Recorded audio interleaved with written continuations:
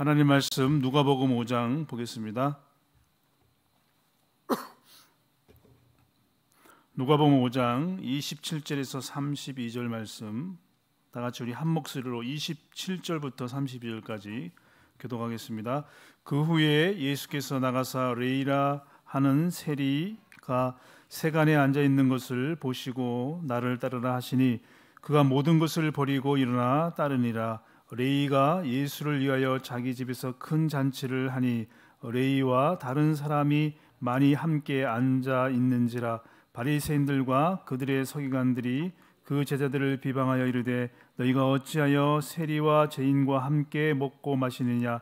예수께서 대답하여 이르시되 건강한 자에게는 의사가 쓸데없고 병든 자에게 쓸데가 있나니 내가 의인을 부르러 온 것이 아니요 죄인을 불러 회개시키러 왔노라 아멘. 예, 영적인 눈이란 제목으로 말씀드리고자 합니다. 아, 영적인 눈.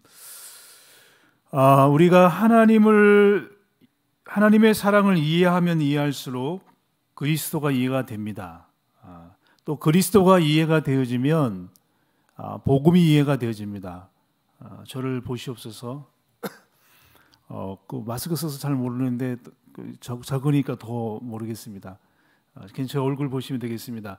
다시 말씀드리면 어, 하나님의 사랑을 이해하게 되어지면 어, 그리스도가 이해가 되어집니다. 왜냐하면 하나님의 사랑은 요한일서 4장 5절 말씀처럼 그 아들을 통해서 우리의 죄를 대속하시고 우리를 구원하시기 위해서 하나님이 우리를 어, 그 사랑의 은혜로 인해서 그리스도를 보내주셨고 그리스도께서 어, 삼중직으로 우리의 근본 문제를 해결하시고 어, 우리에게 복음을 주셨습니다. 이 복음은 또 모든 것의 능력이 됩니다. 어, 복음은 모든 믿는 자의 구원을 주는 하나님 능력이기 때문에 하나님이 이해가 되어지면 그리스도가 이해가 되어지고 그리스도가 이해가 되어지면 복음의 능력이 얼마나 큰지를 이해가 되어지고 또 복음이 이해가 되어지면 우리가 얼마만큼 복음을 못 누리고 있는지 또 복음의 능력이 얼마나 큰지를 아, 이해가 됩니다. 그렇게 되어질 때 아, 우리가 아, 이 복음을 어, 다른 사람에게 전해야 될 분명한 이유를 알고 우리가 얼마만큼 복음을 못 누리고 있는지를 알게 됩니다. 그래서 이 복음을 이해해야 된다는 말은 우리에게 주신 구원의 축복이 얼마나 큰지를 우리가 이해가 되는 것입니다. 근데 이 이해와 깨달음은 이 믿음은 하나님의 선물이기 때문에 하나님께서 우리에게 주셔야 또 날마다 새 은혜를 주셔야 깨닫게 되는 것입니다.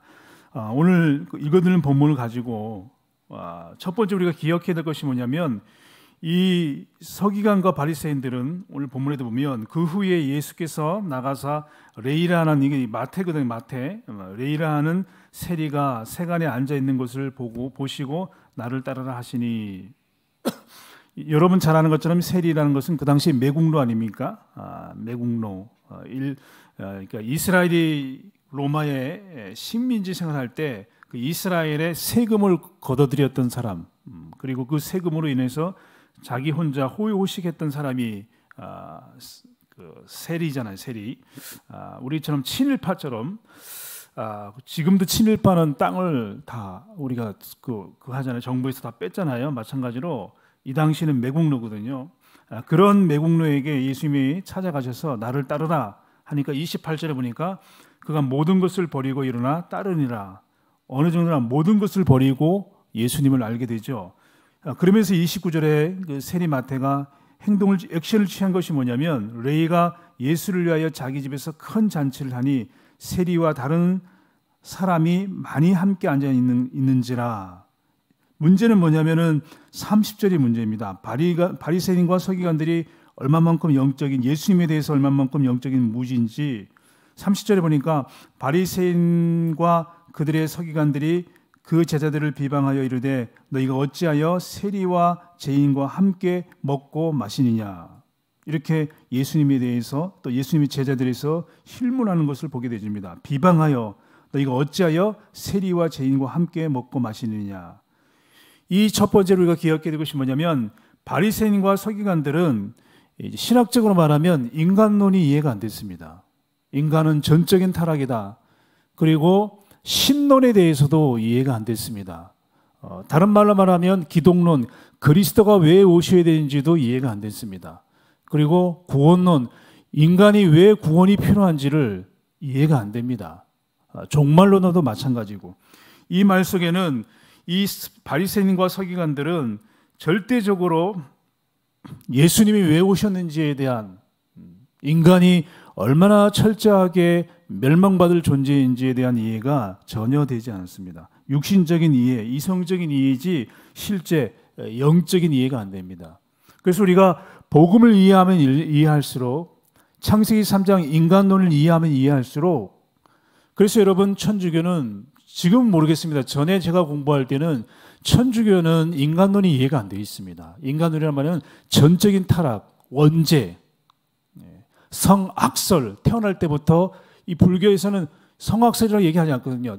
철저하게 태어날 때부터 죄인 중에 의인은 없나니 한 명도 없고 다윗처럼 내 모태에서 제약 중에 출생했다는 이 원죄에 대해서 100% 하나님의 형상이 파괴됐다는 파멸 파멸됐다는 전적인 타락이라는 것에 대해서 이 천주교에서는 지금 모르겠는데 100% 타락했다는 부분에서는 이렇게 명확하지 않습니다.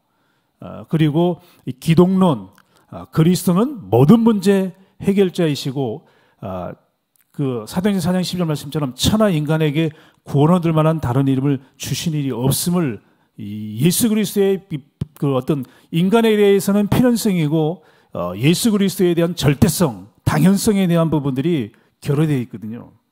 그러니까 어, 인간이 구원받아야 될 이유를 잘 모르고 또 예수 그리스도가 완전히 모든 문제 구원에 대해서 완성하셨다는 것도 모르거든요. 그러니까 저와 여러분이 알면 알수록 복음을 알면 알수록 불신자는 말할 것도 없고 신자도 알면 알수록 복음을 이해하면 이해할수록 영적인 문제를 이해하면 이해할수록 창세기 3장을 이해하면 이해할수록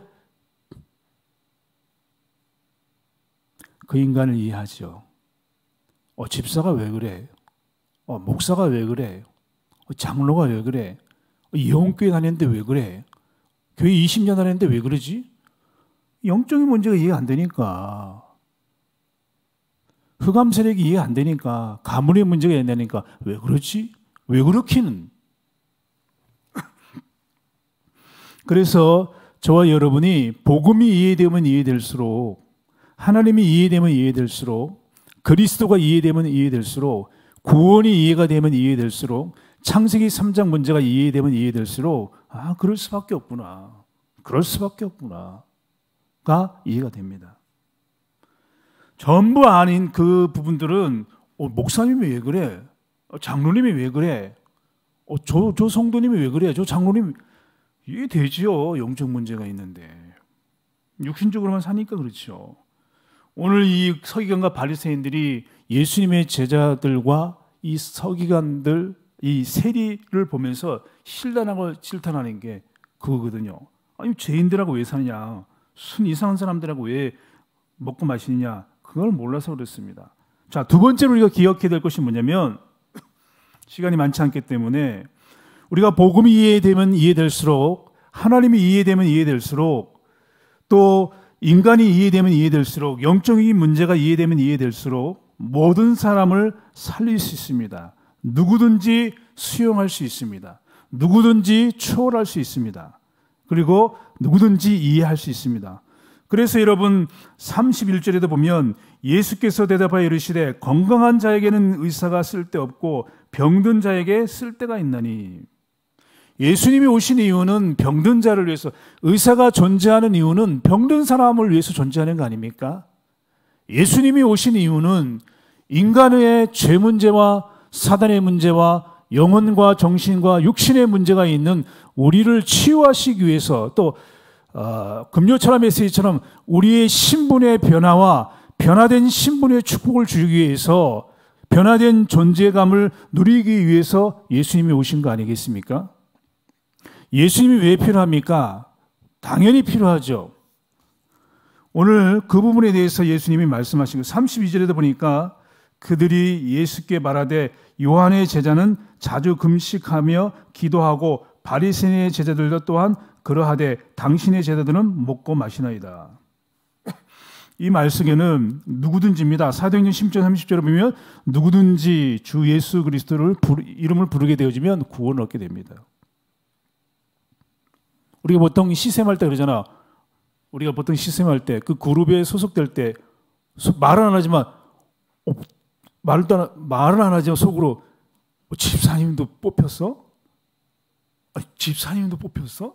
속으로 나만 잘하는 줄 알았는데 아닙니다. 누구든지입니다. 예수님 앞에서는. 당신 같은 사람도 여기 소속됐어? 아닙니다. 누구든지입니다. 누구든지. 그래서 갈라디아서 3장 28절에 보면 유대인이든 헬라인이든 자유자든 남자든 여자든 누구든지 이번 주 말씀처럼 누구든지 뭐 9시든 12시든 3시든지 구원의 선택은 변 누구든지 조건이 필요 없습니다. 믿는 자는 누구든지 그 안에 들어가게 되어 있습니다. 어떤 사람입니까? 바울은 고린도서 고린도전서 9장 19절에서 22절에 보면 바울은 어떤 사람을 어떤 사람 이 사람은 안 되고 저 사람은 안 되고 아닙니다. 우리가 종종 그러죠. 전에 지금은 여러분 안 그러시는데 우리가 초창기 때는 그래요. 뭐 구역원들 아, 전사님 우리 구역원은 뭐 이상한 사람만 구역원 주 시나요? 이런 건한 명도 없고 막 이상한 지금 여러분 그렇지 않잖아요. 초창기 때 보면 아, 뭐 이런 구역원을 주셔요. 뭐 아우 제대로 된 사람 없네. 속으로 당신은 그럼 제대로 됐냐? 바울은 고린도서 9장 19절 20절에 보면 자기가 더한 사람을 얻고자 해요. 그러니까 쉽게 얘기하면 더한 사람 한 사람 한 사람들을 치유하기 위해서 제자 세우기 위해서 유대인이든 율법 아래에 있는 사람이든 율법 없는 사람이든 약한 사람이든 여러분 율법 없는 사람 율법 없이 살아가는 사람은 선이 없습니다 선이. 근데 율법이 있으면 그래도 어 죄구나. 어 저건 죄지. 어 이렇게 하면 안 되지. 율법 없는 사람은요 선이 한번 넘어서면요, 아유, 개념이 없습니다. 망나니는 망나니.